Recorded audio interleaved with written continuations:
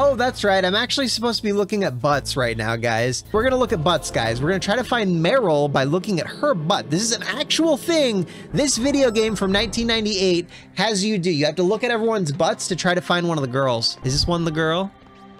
Oh, that's her. You gotta tell by the noise. You can hear her ass squeaking against her pants, bro. That's her. That's Meryl.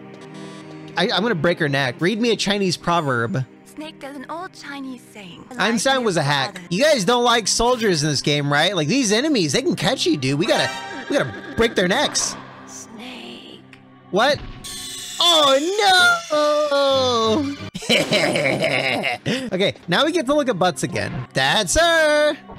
Now you gotta run into the girls' room so I can follow you in there like uh, J.C. Denton, yeah.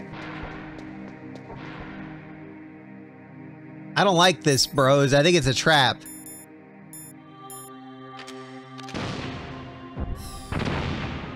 Hmm. Ah! It is a trap. She's trying to trick me. Okay, it's not in there. Stall doors are way too wide. Ah! We only have six more, guys. We gotta make this count. She's at the one at the end, right?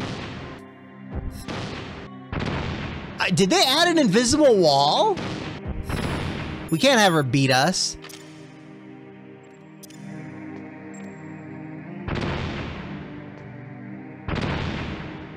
Meryl, you bitch. I'm not gonna let you track me, alright? You're not you're not gonna trick me. I'm a ah! Okay, fine. We'll go we'll go say hi to Meryl. Alright, there's the butt. You can hear it squeaking in the little pants.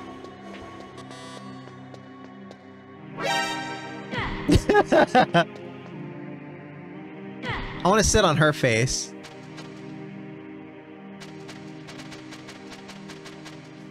Imagine just waking up and you've got Solid Snake sitting on your face. I'm sorry, Meryl. I couldn't help it. Your face just looks so, you know, feminine. Don't move.